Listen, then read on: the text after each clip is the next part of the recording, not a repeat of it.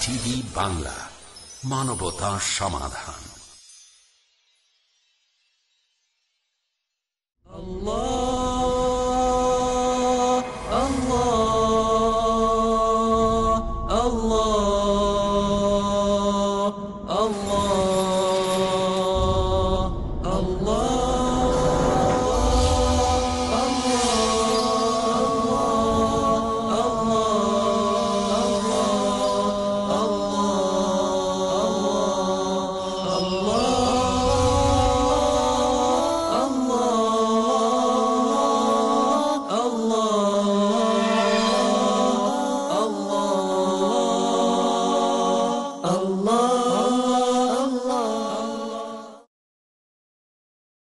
আসসালামু আলাইকুম রহমতুল্লাহ ওবরকাতুহ ইন আলহামদুলিল্লাহ ওসলাত ওয়াসালামু আলা মাল্লা নবিয়া বাদা।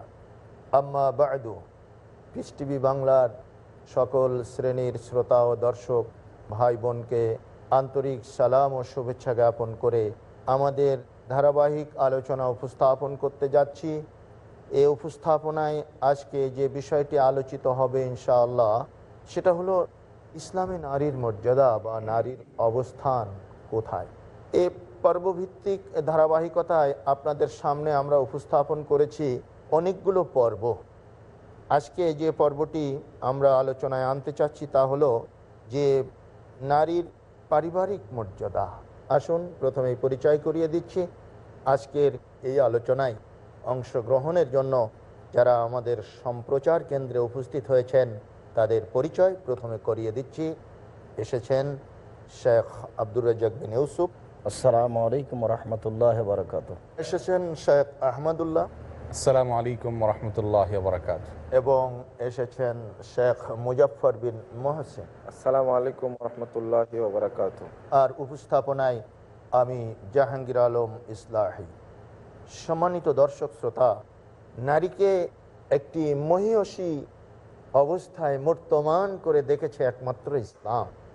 পৃথিবীতে অন্য কোনো ধর্ম সমাজ পরিবার এটা দেখতে সক্ষম হয়নি। আসুন সেই মহিষী রমণীর ভূমিকা এবং তাদের মর্যাদায় আমরা ফিরে যাই। প্রথমেই শায়েক আব্দুর রাজ্জাক বিন ইউসুফের আলোচনায়। জি দর্শকদের আলহামদুলিল্লাহ আলহামদুলিল্লাহ ওয়াহদা। ওসলাত আলা মাল্লা নবী বাদা।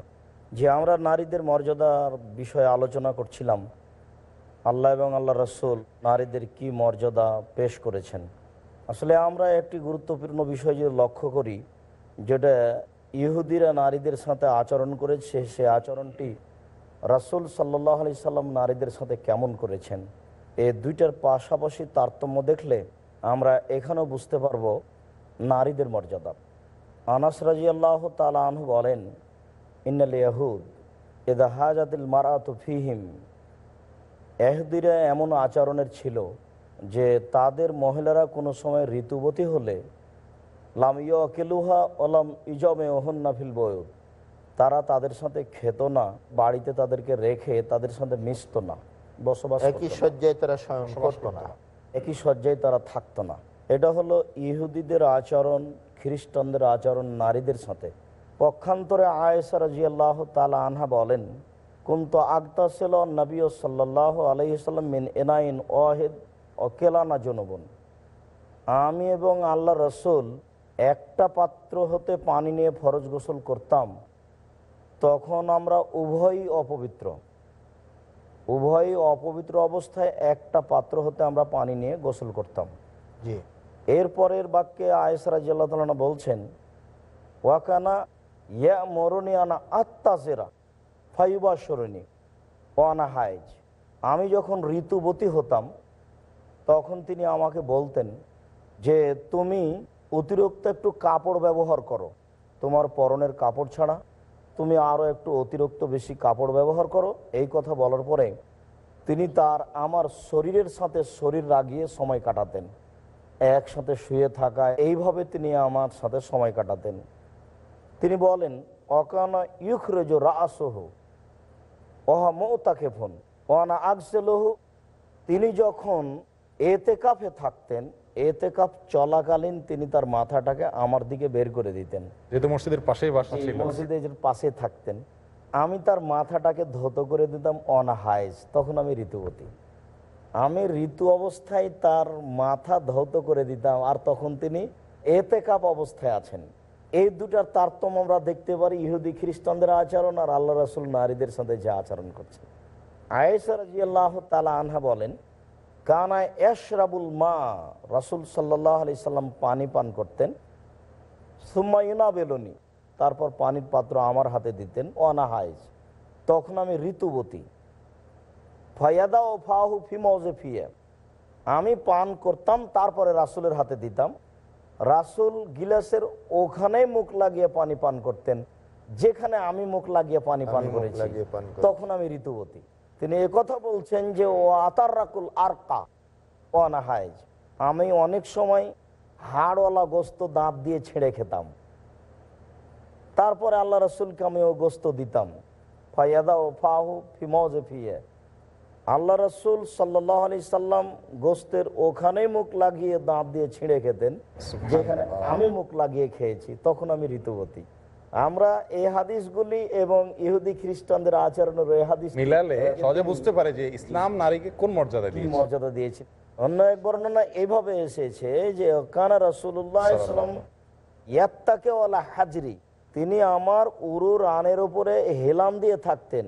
সুমার এক রাউল কোরআন ওয়ান হাইজ এরপরে তিনি কোরআন তেলাওয়াত করতেন তখন আমি ঋতুবতী আমার উরু রানের উপরে মাথা রেখে তিনি কোরআন তেলাওয়াত করতেন তখন আমি ঋতুবতী যে অবস্থায় ইহুদি খ্রিস্টান তার অজাতির ঘৃণা নারীকে এসেছে। অস্পৃশ্য মনে করত ওইটাকে দুলিশ্বাত করে দিয়েছেন রসুল আকরাম সাল্লাল্লাহু আলাইহি ওয়াসাল্লাম আচরণের মাধ্যমে জি যে সেটা সেটা বলছিলাম। বলছিলাম যে কথা বলতে চাচ্ছিলেন আপনি। জি যেটা বলছিলাম যে আপনি শুরুতে যেভাবে পারছিলেন বিষয়টা আমার মনে হয় ওই অ্যাঙ্গেলে আলোচনা করলে জিনিসটা আরও সুন্দর হবে পারিবারিক জীবনে নারীর যে অবস্থান ইসলাম দিয়েছে। একজন নারীকে যদি আমরা বিচার করি তো আমরা দেখি যে নারীর জীবনে তিনটা ধাপ আসে অবশ্যই। আসে। আরেকটিকে আমরা যোগ করতে পারি সেটা আনুষাঙ্গিক। এক নম্বর হলো নারী প্রথমে কারও না কারোর মেয়ে হয়। দ্বিতীয়ত নারী কারও না কারোর স্ত্রী হয়। এরপরে গিয়ে নারী কারও না কারোর মা হয়। অর্থাৎ নারীর জীবনের তিনটা ধাপ আমরা দেখতে পাই। আরেকটি ধাপ আমরা দেখি সেটা আনুষাঙ্গিক। আলাদাভাবে না বললেও চলে এটা বোন হয়। এই তিনটা মৌলিক যে ধাপ এ ধাপের প্রত্যেকটাতে দেখি কি কি মর্যাদা দিছে।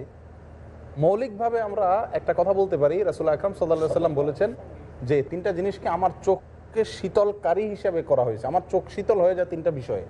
তার ভিতরে একটা হলো সালাদ আরটা হলো সুগন্ধি আরটি হলো নারী। নারী আল্লাহ রসুল সাল্লা সাল্লামের কাছে তার জীবদ্দশার সবচেয়ে প্রিয় জিনিসের একটি। এখন নারী প্রিয় বলতে কি একটু ব্যাখ্যা না করলে নয় সেটা হলো এই নারী এবং পুরুষ উভয়ের তুলনায় আল্লাহ রসুল সাল্লা সাল্লামের কাছে নারী পছন্দনীয় ছিল। ভাই এবং বোনের মধ্যে, ভাইয়ের চাইতে বোনের প্রতি মহাব্বতটা, ছেলে এবং মেয়ের মধ্যে, ছেলের চাইতে মেয়ের প্রতি, মা এবং বাবার মধ্যে, বাবার চাইতে মায়ের প্রতি। অর্থাৎ নারীর জীবনের যে ধাপই হোক না কেন, নারীর প্রতি আলাদা দুর্বলতা স্বয়ং রসুল আকরম সাল্লা সাল্লামের নিজেরই ছিল। তিনি এটা প্রকাশ করে কেমন যেন তার উম্মতকে আহ্বান করছেন, তোমরাও তাদের প্রতি হৃদ্ধ এবং তাদের প্রতি অনুকম্পা তোমাদের দেখাও এবং ভালোবাসা তোমরা জাহির করো।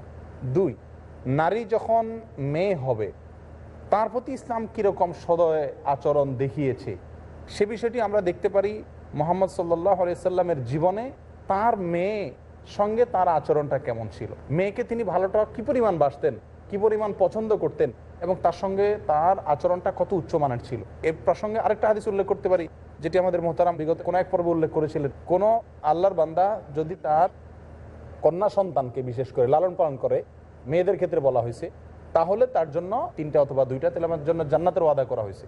তাহলে মেয়ে হিসাবে কন্যা হিসাবে আমি যখন থাকছি তখন আমাকে মর্যাদা দিচ্ছি। স্ত্রী যখন হয়ে যাচ্ছি তখন তো মহতারামের একটু আগের যে আলোচনাগুলো সব আলোচনাগুলো এখানে রিপ্লেস করা যেতে পারে। যে স্ত্রী হিসাবে রসুল আকরাম সাল্লা সাল্লাম তার স্ত্রীর সঙ্গে যে মর্যাদাগুলো দিয়েছেন সে সব মর্যাদাগুলো তো আছেই। পাশে আরেকটা যোগ করতে পারি যেই স্ত্রী কয়েকটা কাজ করবে তার ভিতরে একটি হলো স্ত্রী হিসাবে পরিবারের ভিতরে তিনি যখন স্বামীর অগোচরে স্বামীর সম্পদের হেফাজত করবেন চরিত্রের হেফাজত করবেন তার জন্য জান্নাতের ওয়াদা করা হলো। মা হিসাবে তো আর বলার অপেক্ষা রাখে না। মায়ের মর্যাদা যখন যাচ্ছেন তখন তার পদতলে সন্তানদের জান্নাতি থেকে যাচ্ছে। জান্নাতে কথাই নবীজি উল্লেখ করেছেন। জি শেখ ধন্যবাদ আপনাকে। অত্যন্ত সম্পূরক আলোচনা আপনি উপস্থাপন করলেন। শেখ মুজফর বিন মহসিন। নারীদের মর্যাদার ক্ষেত্রে ইসলাম অনেক ক্ষেত্রে যে বিধান আরোপ করেছে সেটা আসলে অনুসরণীয় শিক্ষণীয় যদি কোনো মেয়ের স্বামী মারা যায় তাহলে এই মেয়ের ভরণ পোষণ কে করবে? রসুল্লাহ সাল্লাহ সাল্লাম সেক্ষেত্রে ফজিলত বর্ণনা করলেন যে দুই শ্রেণির মানুষ আমার সঙ্গে জান্নাতে এইভাবে থাকবে। তার মধ্যে যে ব্যক্তি বিধবা মহিলার দায়িত্ব গ্রহণ করবে যখনই কোনো মহিলা নিঃস্ব হয়ে গেল। আরমেলা। আর সাই আল আরমালা জি। যখন কোনো বিধবা মহিলার দায়িত্ব গ্রহণ করবে যে ব্যক্তি গ্রহণ করবে কাল জান্নাতে আমি এবং ওই ব্যক্তি একসঙ্গে থাকব। এই মেয়ের ভরণ পোষণের দায়িত্ব কোনো ধর্মই নেয়নি। কিন্তু ইসলাম বলে দিয়েছে এমনকি বলে দিয়েছে যে যদি বড় ভাই থাকে তাহলে বড় ভাইয়ের কাছে ফেরত যাবে। অন্য কোনো ধর্মের নিয়ম নাই ভাইকে দেখতে হবে। দ্বিতীয় শেখ মুজফর বিন আমরা বিরতির পরে আবারও ইনশাল্লাহ আপনার কাছে ফিরে আসব। সুপ্রিয় দর্শক শ্রোতা আমরা অত্যন্ত প্রাণবন্ত আলোচনা উপলব্ধি করছিলাম। আমরা এ পর্যায়ে ছোট্ট একটু বিরতি নিচ্ছি। বিরতির পরে আবারও আমাদের আলোচনার ধারাবাহিকতা আপনাদের সামনে উপস্থাপিত হবে ইনশাআল্লাহ। ততক্ষণ সঙ্গেই থাকুন। আসসালামু আলাইকুম আ রহমতুল্লাহ।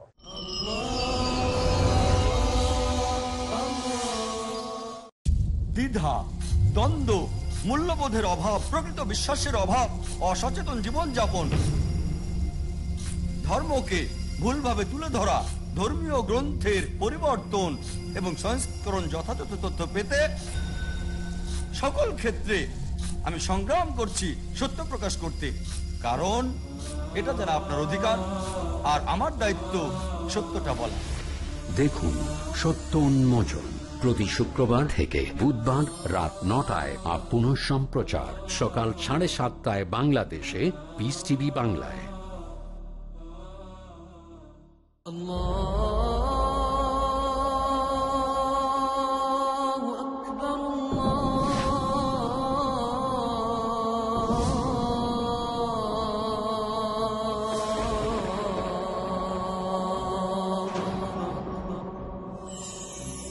আল কোরআন করিম হেদায়াতের মূল সম্ভার। আল কোরআন করিম থেকে হেদায়ত নিতে চাইলে আপনি অবশ্যই হেদায়ত পাবেন। যদি আল কোরআন থেকে যারা হেদায়ত পেয়েছে তাদেরকে আদর্শ হিসেবে গ্রহণ করেন। আসুন আল কোরআন থেকে হেদায়ত লাভ করার জন্য দেখুন আমার অনুষ্ঠান ইসলামের বুনিয়াদী শিক্ষা শুধুমাত্র পিস টিভি বাংলায়।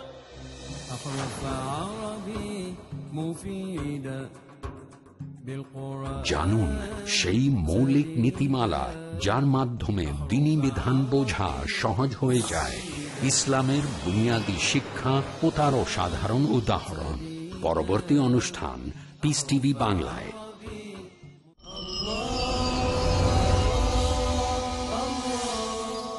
আসসালামু আলাইকুম রহমতুল্লাহ বারকাত সুপ্রিয় দর্শক শ্রোতা, বিরতিতে সঙ্গে থাকার জন্য ধন্যবাদ। অতঃপর আমরা আলোচনায় ফিরে যাচ্ছি, যেটা নারীর সামাজিক বা পারিবারিক জীবনে মর্যাদার বিষয়টি আমাদের আলোচনায় ফুটে উঠছিল। এ পর্যায়ে শেখ মুজফর বিন মহসিন, আপনি আপনার বাকি আলোচনা পূর্ণ করুন। বলছিলাম যে যারা বলে থাকে যে নারীর উপরে এটা একটা বড় ধরনের বৈষম্য করা হয়েছে যে নারী পিতার সম্পদ থেকে অর্ধেক ভাগ পাবে কেন? ও ব্যক্তি জানে না যে একজন মেয়ে বা নারী কয় দিক থেকে সম্পদের ভাগিদার হয়? একদিক থেকে পিতার হলো আর একদিক থেকে স্বামীর হবে। আবার যদি এই মেয়েটার কোনো ঘটনা ঘটে, তাহলে আবার ভাইয়ের কাছে ফিরে আসবে। তাহলে দেখা যাচ্ছে যে চতুর্দিক থেকে পিতার সম্পদের অধিকারী হলো, মায়ের সম্পদের অধিকারী হলো আবার স্বামীর সম্পদের অধিকারী হলো তাহলে প্রকারান্তরে দেখা যাচ্ছে সন্তান থেকে সন্তানের হিসাবে সম্পদ একদিকে সমান হয়ে যাচ্ছে অনেক ক্ষেত্রে বেশি পাচ্ছে। না এখানে একটা না বললে নয় সম্পদ চতুর্দিক থেকে পাচ্ছেন কিন্তু ব্যয় অন্যেরটা তো দূরের কথা নিজেরটাও না। পুরো সম্পদটি সে ব্যবহার করতে পারে না।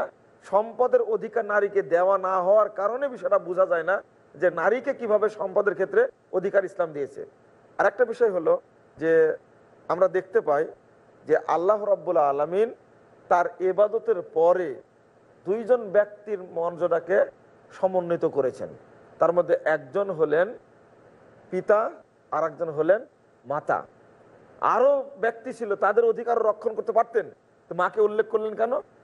আর একটা বিষয় গুরুত্বপূর্ণ, সেটা হলো আল্লাহ রাব্বুল আলমিন এমন কোনো ব্যক্তির প্রসঙ্গে আয়াত নাজিল করেননি খাসভাবে নির্দিষ্টভাবে যেটা নাজিল করেছেন একটানা সতেরোটি আয়াত নাজিল করে আয়েশা রাজার মর্যাদাকে আল্লাহ সংরক্ষণ করেছেন। এখানে লক্ষণীয় একটা বিষয় সেটা হলো যে যত মহিষী নারী যে যত পরহেজগার আল্লাহ রব্বুল আলমিন তাকে তত মূল্যায়ন করেছেন। কোন পুরুষের পক্ষেও পবিত্র কোরআনে একটানে এত আয়াত নাজিল হয়নি। কোন পুরুষের সমস্যা হলে আল্লাহ রাব্বুল আলমিন রসুল্লাহ সাল্লামের মাধ্যমে হাদিসের মাধ্যমে সমাধান করেছেন। কিন্তু মা আয়েশা রাজালার মর্যাদা আল্লাহ রাব্বুল আলমিন সংরক্ষণ করেছেন একটানা সতেরোটি আয়াত নাজিল করার মাধ্যমে। শেখ মুজফর বিন মহসিন অত্যন্ত সুন্দর আলোচনা উপস্থাপন করলেন। অবস্থা তোমার ওই বিষয়টি একবার এক পর্যায়ে পেশ করছিল সেটা বলা যায়। সেটা হলো এই যে জরাবাল্লাহ মাসানান লিল্লাযিনা আমানু ইমরাত ফিরআউন। এমরাতা ফেরাউন ইবনাতা ইমরান। আল্লাহ তালা দুটাই পাশাপাশি বলেছেন, ইমানদার ব্যক্তির জন্য আল্লাহ তালা দুইজন নারীর দৃষ্টান্ত পেশ করেছেন। তার একজন হচ্ছেন ফেরাউনের স্ত্রী আসিয়া, আর একজন হচ্ছেন এমরানের মেয়ে মারিয়াম। ইমানদারদের জন্য দৃষ্টান্তমূলক কোরআন মাজিদে আর কোনো ব্যক্তিকে পেশ করা হয়নি, শুধু নারীকে পেশ করা হয়েছে। রাসুল সাল্লাহ আলি আসাল্লাম বলেছেন আসাই আলাল আরমেলা আল মাসাকিন একনফি সাবিল্লাহ অকাল কায়েমে লায়ফতর ও সায়েমে লাইফতের যে কেউ যদি বিধবা নারীকে দেখাশোনা করে, তাহলে ও ওইভাবে নেকির হকদার হয়। আল্লাহর পথে জেহাদ করে মানুষ যেভাবে নেকির হকদার হয়। এরপরে বর্ণনাকারী বলছেন ও আহাসে বহু আমি মনে করছি আল্লাহ রসুল এই কথাও বললেন যে, কাল কায়েমে লাইফতর যে ব্যক্তি রাতে তাহাজুদ পড়ে কোনো সময় ক্লান্ত হয় না। ওই লোকটা রাতে তাহাজুদ পড়ে যত নেকি পায় কেউ যদি দেখাশোনা করে বিধবাকে, সেও তত নেকি পায়। এরপরে বললেন যে, একজন ব্যক্তি শ্যাম পালন করে, তার নিয়মিত শ্যামগুলো ছেড়ে দেয় না। এই নিয়মিত শ্যাম পালন করে যত নেকি পায়, বিধবার প্রতি লক্ষ্য রেখে তত নেকি পায় তো ওখানে নারীদের মর্যাদার একটা আল্লাহ রসুল সিরিয়াল করে দিয়েছেন যে প্রথমে নারী থাকবে পিতার অধীনে সম্মান লাভ করে, এরপরে থাকবে স্বামীর অধীনে সম্মান লাভ করে। এরপরে যদি স্বামী না থাকে তাহলে এক শ্রেণির জনগণের অধীনে সম্মান লাভ করে থাকবে। থাকলে সন্তানের কাছে। সন্তানের অধীনে। না থাকলে এক শ্রেণির জনগণের অধীনে সম্মান লাভ করে থাকবে আর সেই জনগণ হবে এই মর্যাদার অধিকারী। তাহলে নারীদের কীভাবে রসুল সাল্লাম মূল্যায়ন করেছেন? নারীর জীবনের একটা গুরুত্বপূর্ণ আলোচনা আপনি উপহার দিচ্ছেন। এ পর্যায়ে আরও একটু আমি স্মরণ করিয়ে দিতে চাই যে শাহাদাতের মর্যাদা লাভ। কতিপয় নারী। জি। এরপরেও রসুল সাল্লাহ আলি সাল্লাম নারীদের শহীদের মর্যাদার ব্যাপারে উল্লেখ করছেন যে সাত শ্রেণির মানুষ শহীদ। তার এক শ্রেণির মানুষ হচ্ছে শাহিদ ও ফিসাবিল্লাহ যারা আল্লাহর পথে শহীদ হয় তারা শহীদ। অন্য এক বর্ণনা রয়েছে যে আল্লাহর পথে শহীদ ছাড়াই সাত শ্রেণির মানুষ শহীদ। এরপরে যেটা আল্লাহ রসুল বললেন যারা হঠাৎ মারা যায় কলেরা বা মহামারীতে মারা যায় তাদেরকে আল্লাহ রসুল বললেন, শহীদ। অবশ্যই তার ভালো দিক থাকবে। অল গারিক ও শাহিদুন। কেউ যদি পানিতে ডুবে মারা যায়, তাহলে সে শহীদ। অল হারিক ও শাহিদুন। কেউ যদি আগুনে জ্বলে পুড়ে মারা যায়, তাহলে সে শহীদ। এরপর আল্লাহ রসুল বললেন অল মাবতুন ও শাহিদুন। কেউ যদি পেটের ব্যথায় মারা যায় যে কোনো পেটের ব্যথা। অজাতুল জম্বে শাহিদুন। পেটে এক ধরনের কীড়া হয়। পোকা যাতে এক ধরনের ক্রিয়া হয় এতে ও কষ্ট পায়। এতে যদি কেউ মারা যায় তাহলে সে শহীদ। অত্র দুইটা শব্দ বোঝা যাচ্ছে যে পেট সংক্রান্ত ব্যাপারে মানুষ মারা গেলে শহীদের দরজা পাবে। এরপর আল্লাহ রসুল বললেন অলজুম ও শাহিদুন। কেউ যদি বাচ্চা প্রসব করতে গিয়ে মারা যায় তাহলে সে শহীদ। এই সুযোগ কোনো পুরুষের নেই। নেই। কেউ যদি আগুনে জ্বলে পুড়ে মারা যায় তো নারী হলেও যা। পুরুষ হলেও অন্যগুলো সব সবার জন্য সমান। আর এটা স্পেশাল সবার জন্য মহিলার জন্য। কিন্তু এখানে একবারে পৃথক মর্যাদা নারীর যে নারী যদি এই পর্যায়ে গিয়ে মারা যায় তাহলে সে শহীদের মর্যাদা পাবে। তার জন্য। করা যায় সারা পৃথিবীতে নারীদের এই যে একটা পর্যায় অত্যন্ত মর্মান্তিক এবং অত্যন্ত এটা একটা লোমহর্ষক একটা মুহূর্ত যে প্রসবকালীন সময়ে একজন নারী কত আশা আকাঙ্ক্ষার দোলায় দুলতে দুলতে সে মা হবে একটা সন্তানের মুখ দর্শন করবে। আশা নিরাশায় বুক বেঁধে সে যখন মাতৃত্বের এই চরম মোহে নিজে সন্তান সম্ভব মা হতে যায় এই নিদারুণ মুহূর্তে কত মহিলার জীবন পৃথিবীর মাটি থেকে চলে গেল। আল্লাহ তুমি তাদেরকে শাহাদাতের মর্যাদায় ভূষিত করো সুপ্রিয় দর্শক। একটু। তাদের জন্য দোয়া করি। মায়েদের শুধু এটি নয় যে মৃত্যু হয়ে গেলে তখন শহীদের মর্যাদা পাচ্ছেন। আল্লাহ তালা স্বীকৃতি দিচ্ছেন কতটুকু? মায়েদের কষ্টের স্বীকৃতি। বাবারও অনেক কষ্ট করে। কই, বাবার স্বীকৃতি সম্পর্কে স্পেশাল কোনো আয়াত আমরা দেখি না। কোরআন করিম আল্লাহ তালা মায়েদের কষ্টের স্বীকৃতির কথা বলছেন যে হামালাত হো উম্মুহ কুরহা অবাদাত হো কোরহা। যে, হে সন্তান, তোমার যিনি মা ছিলেন, তিনি তোমাকে গর্ভধারণ করেছেন, অত্যন্ত কষ্ট করে এবং তোমাকে গর্ব থেকে মুক্ত করেছেন, দুনিয়াতে এনেছেন তিনি। তিনি কষ্ট করে করেছেন। অর্থাৎ মায়ের কষ্টটি স্মরণ করে দিয়ে, মায়ের প্রতি সদাচরণের প্রতি সন্তানকে আল্লাহ তালা নির্দেশ করছে হ্যাঁ এখানে সর্বজন স্বীকৃত এই কথাটি যে এই সন্তান জন্মদানের ব্যাপারে, দেখুন স্বামী স্ত্রী একটি উত্তেজনাকর মুহূর্তে উভয়ে উভয়ের থেকে একটা আনন্দ, একটা উপভোগ্য বিষয় উপভোগ করে পিতার দায়িত্ব শেষ হয়ে গেল। কিন্তু যে মায়ের গর্ভ সঞ্চার হলো, আস্তে আস্তে সে মা একটা জীবনের চরম ও পরম ঝুঁকির দিকে আস্তে আস্তে এগোতে আমাদের দুনিয়াতে আসার জন্য কষ্ট যেটা মেইনলি আর আল্লাহ সুবহানাহু ওয়া তাআলা তার স্বীকৃতিটুকু দিলেন। স্বীকৃতিটা আলাদাভাবে দিয়েছেন। এটা নারীকে আসলে একটা অধিকার বা তার মর্যাদার একেবারে হিমাগ্রী শিখরে আল্লাহ তাকে তুলে দিয়েছেন? এখানে একটা মাপ বলা যায় একটা মাপ বলা হয়েছে সেটা হলো একটা নারীকে শুধু জন্ম দিয়ে শেষ করে। না। হাদিসগুলো আমরা দেখেছি একটা হলো যে আদাবা হন না রসুসাল্লাম বলেছেন তাদেরকে আদব শিক্ষা দেবে। তারপরে ও আতামা হন না তাদেরকে খাদ্য দিবে। তারপরে বলা হয়েছে ও সাকা হন না পান করাবে।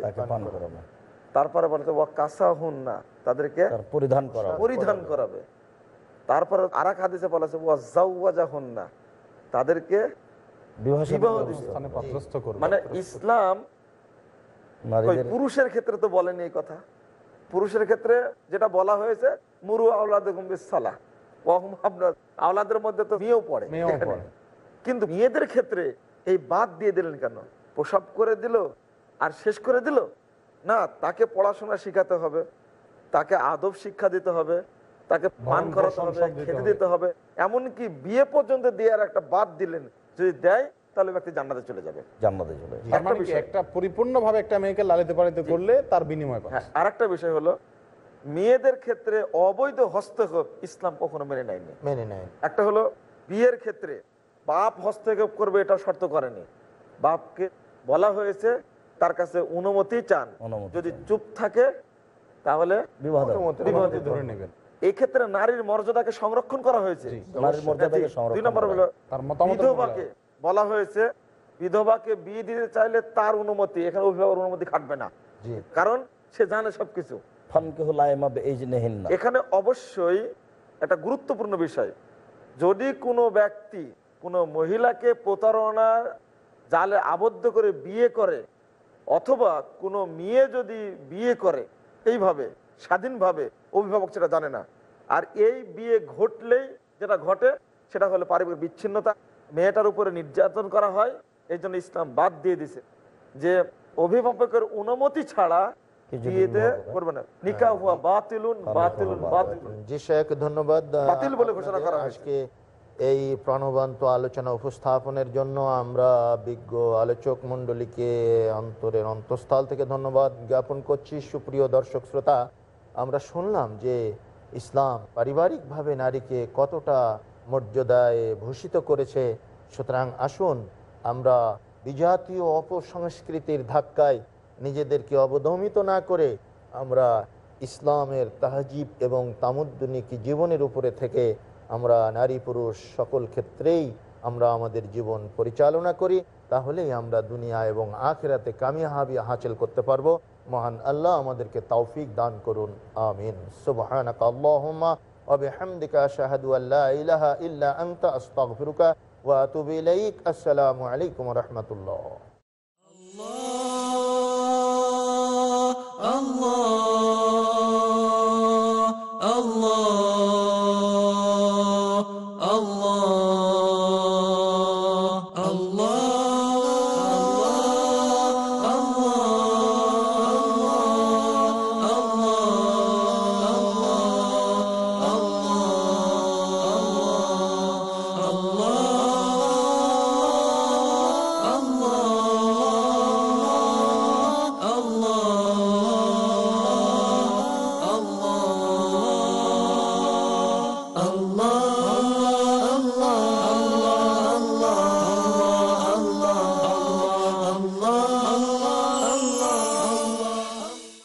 ফিল্টার করলে পানি বিশুদ্ধ হয়। ডায়ালাইসিস করলে রক্ত বিশুদ্ধ হয়। তাপ দিলে সোনা বিশুদ্ধ হয়। আমাদের কষ্টার্জিত টাকা কীভাবে বিশুদ্ধ হবে? আল্লাহ তাআলা পবিত্র কোরআনে অনেকবার এই কথা বলেছেন, আকিমুস সালাত ওয়া আতুজ জাকাত অর্থাৎ তোমরা নামাজ আদায় করো এবং জাকাত দাও। জাকাত দিয়ে সম্পদকে বিশুদ্ধ করুন। বর্তমানের এই যুগে ইসলামের বাণী প্রচারের জন্য স্যাটেলাইট চ্যানেল হলো সবচেয়ে সেরা মাধ্যম। পিস টিভিকে সমর্থন করুন। ডোনেশন এবং জাকাত পাঠানোর ঠিকানা IRFI Al Rayan bank Quadrant code আটচল্লিশ Calthorpe road Birmingham UK post code B one five one TH pound account number zero double one three two three zero one euro account number zero double one three two three zero two US dollar account number zero double one three two three zero three short code three zero double zero eight three swift BIC code I BO BGB double two IBAN GB five two LO YD three zero nine six three four zero one zero two four one nine two টেলিফোনে টাকা ট্রান্সফারের জন্য call করুন double four two zero eight two four two four three two one টাকা পাঠিয়ে আমাদের email করুন admin at the rate peace TV dot TV আপনার দায়িত্ব পালন করে পুরস্কার নিশ্চিত করুন। জাকাত দিয়ে এই দায়িত্ব পূরণ করুন।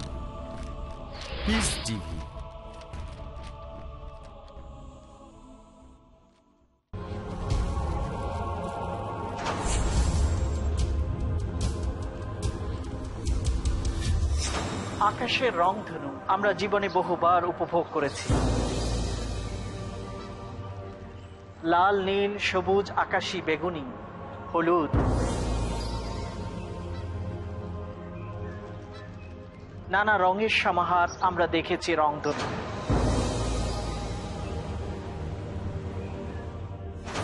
কিন্তু জীবনের রংধনুকে কখনো কি আমরা বিশ্লেষণ করে দেখেছি?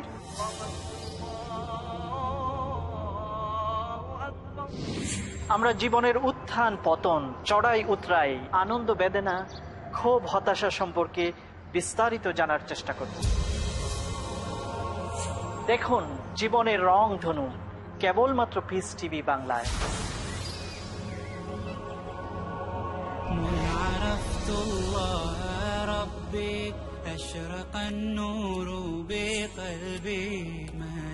জানুন কত কার্যকরী ভাবে মোমিন বান্দা নিজের প্রতিটি কাজকে ইসলামী রঙে রঞ্জিত করে।